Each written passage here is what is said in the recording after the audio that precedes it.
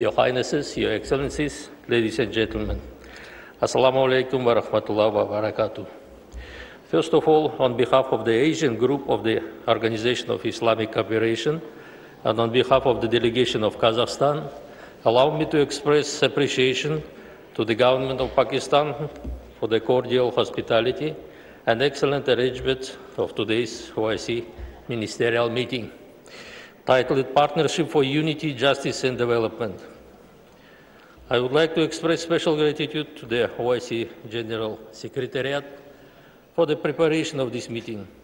I also would like to congratulate the Republic of Niger on the successful completion of chairmanship of the 47th session of the OIC Council of Foreign Ministers.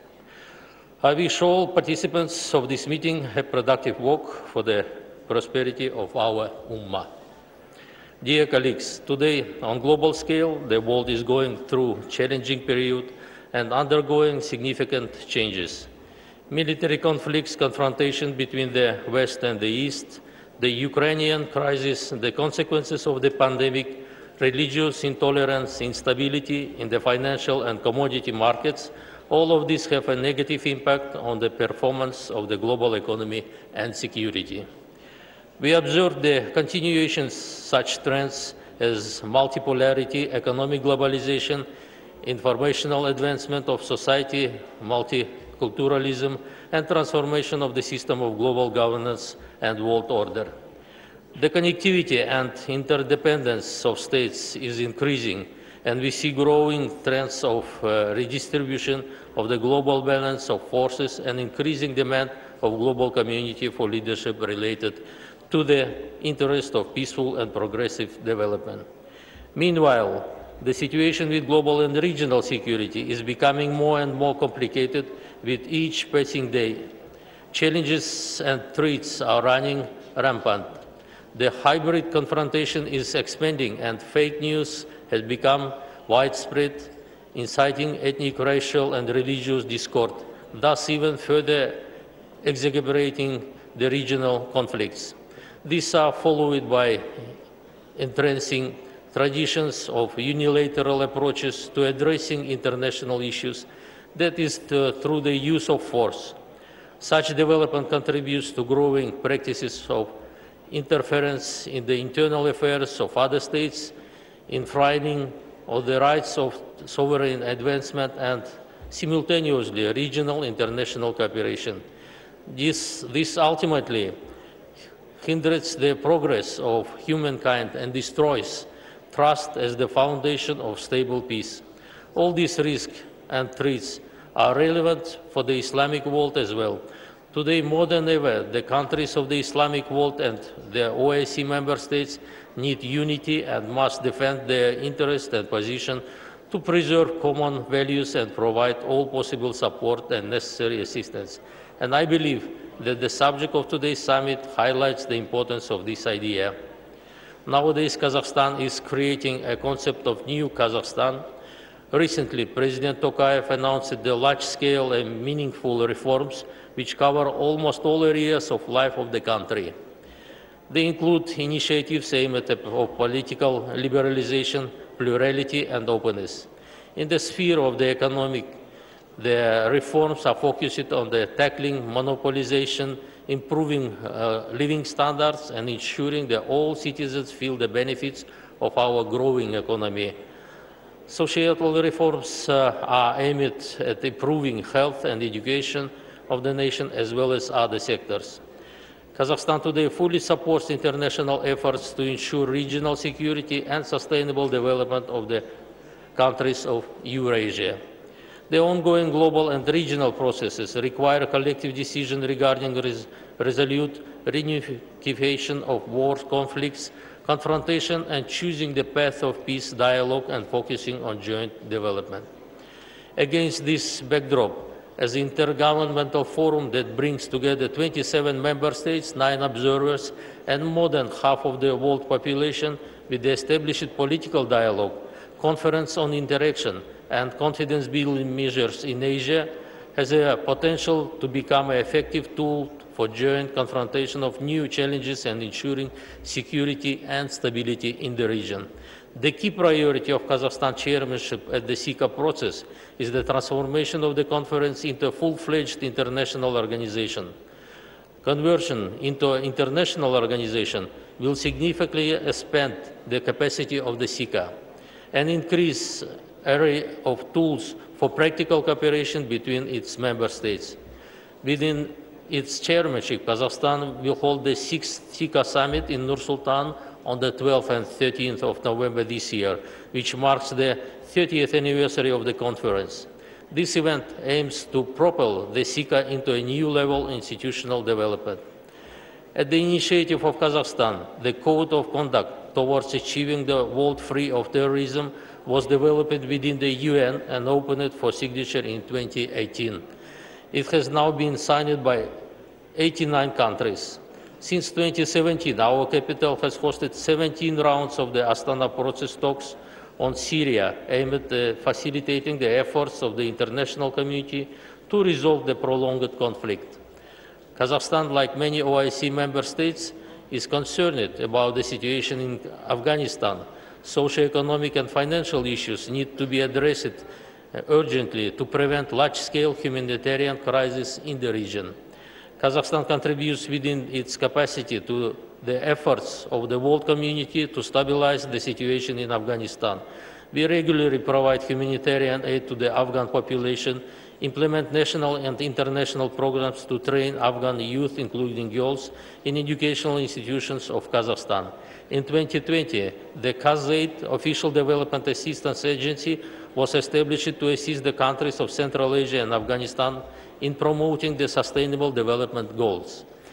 The opening in Almaty city of the temporary remote office of UNAMA was a sign of the recognition of the role Kazakhstan and the organization's trust in our country. I would also like to emphasize the timelines of the extraordinary meeting of the OIC Council of Foreign Ministers on Humanitarian Situation in Afghanistan held in Islamabad on 19 of December 2021 which resulted the adoption of the several practical decisions, including the launch of the Afghanistan Food Security Program under the aegis of the Islamic Organization for Food Security and the establishment of the Humanitarian Trust Fund under the aegis of the Islamic Development Bank. In this regard, I call on the OIC Secretariat to assist the IOFC uh, in the prompt launching the Afghanistan Food Security Program and the OIC member states to make generous contribution to this program. Regretfully, conflicts and military clashes continue among the Muslim countries today. The events in Yemen, Syria, and several African states have become a matter of concern. Therefore, we believe that the initiative of Islamic rapprochement remains relevant for peace and harmony in the Islamic world. Kazakhstan reaffirms its uh, unwavering position for just and comprehensive solution to the Palestinian question on the basis of relevant resolutions of the UN Security Council and the UN General Assembly in accordance with the two states for two nations principle. Moreover, we reiterate the OIC principled position on the Jammu and Kashmir dispute for peaceful settlement in accordance with the relevant United Nations Security Council. We are convinced that the promoting the ideology of tolerance, mutual understanding, and cultural diversity is the key to combating hatred and discrimination. An example of interfaith dialogue uh, is the Congress of Leaders of World and Traditional Religions, which has been held in Kazakhstan since 2003 and is attended by the leaders of the Islamic world and the Secretary General of the OIC. The next sixth Congress will be held in September 2022 in Kazakhstan. Distinguished participants, in the face of the new challenges, the further transformation of the organization is an important issue. Therefore, we need to swiftly conclude the process of reforming of the IC. In this context, we are grateful to Saudi Arabia, Turkey, and Bangladesh for their efforts and contribution for the holding of two expert group meetings on comprehensive reform of our organization. The combat against the COVID-19 pandemic and overcoming its consequences are still among the pressing issues on our cooperation agenda. At the current stage, I would like to emphasize the importance of uniting our efforts in the combat against the pandemic and an exchange of vaccines. In addition, Kazakhstan, within its activity in the UN, initiated the establishment of the International Agenda of, for Biology Safety, which in future will contribute to the prevention of biological threats and the exchange of information on dangerous diseases. Comprehensive support for this initiative will allow our countries to take timely measures in the future. The pandemic, more than anything else, showed the urgent need for the development of science and technology in the Muslim world and beyond. At the first OIC Summit on Science and Technology held in September 2017 in Nur-Sultan, Kazakhstan initiated the establishment of the OIC 15 group, which unites 15 leading Muslim countries in the field of science and technology to promote the potential of our Ummah in these areas. This year, Kazakhstan intends to hold a meeting of ministers of the OIC 15 group member states responsible for education, science and technology. This step would also again demonstrate the need to consolidate efforts in the development of our own advanced science and technology as an important factor in achieving peace and prosperity. Distinguished colleagues, today many countries, including the Islamic world, are facing acute issue of ensuring food security due to the complex of geopolitical situation in the world and climate changes. Many countries in Africa and Middle East are sounding the alarm and are requesting our help in providing essential products. Some countries are experiencing famine due to the crop failures last year. We are ready to cooperate in this area and consider it important to revitalize the Islamic Organization for Food Security and to use its potential to ensure access to food supply for countries in need. To date, 36 of the 56 OIC countries have joined this organization and only 17 countries have ratified its charter. We call on the members of the OIC to actively engage in the activities of the International Organization for Food Security.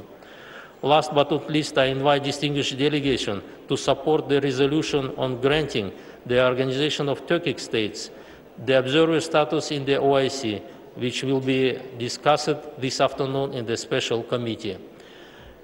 As a founding members of the, uh, this organization, Kazakhstan is interested to enhance cooperation with important international organizations such as OIC.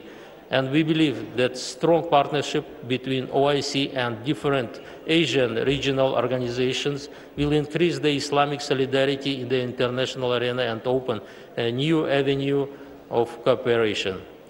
Availing this opportunity, I would like to inform that recently, on the 12th March this year, there was the early presidential election in the Turkmenistan, which, uh, according to the international observers, was held in the fair, free and competitive atmosphere.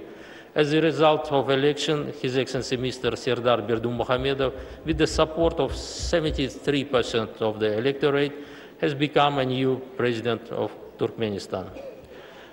Also, I avail this opportunity to express on behalf of the Asian group uh, the heartfelt congratulations to the government and the people of Pakistan on the occasion of the 75th anniversary of the independence of, uh, of the Republic. And I wish uh, peace and prosperity to the brotherly people of Pakistan. In conclusion, allow me to express the hope that all OIC will continue to advance its goal and objectives for the benefit of the entire Muslim Ummah. I wish all participants fruitful work at today's event and thank you for your attention.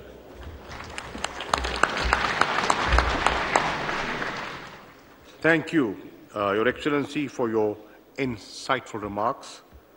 I now request His Excellency Mr. Othman Jerandi, Foreign Minister of the Republic of Tunisia, to make his speech. He will be speaking on behalf of the Arab group of the OIC member states.